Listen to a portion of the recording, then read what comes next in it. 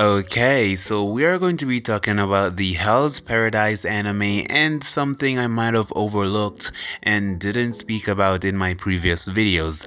So we are going to be talking about the pacing of season 1 of this anime and judging by how things are looking, this might be only a one season anime. And while that's not really a problem or a issue, I mean a lot of people would want a second season, but while that's not the problem, the problem is that this anime was leaked to be having a two core series, and the total amount of chapters the manga have is around 127 chapters. Now, everyone is saying that this is going to be a rushed anime project and they're going to mess it up like what they did with the God of High School and Tower of God and I really hope they don't. Mappa Studio is working on the anime adaptation and Mappa does know what to do when making a proper anime adaptation but this is a bit concerning that they might actually give us a rush the anime project.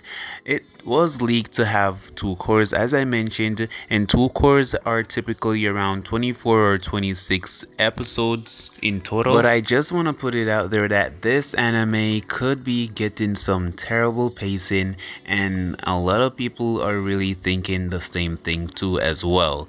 Anyways when more information is known I'll definitely update the video and let you guys know. So subscribe leave a like and I'll probably do weekly reviews on this anime as well with that said, I will see you all in my next video.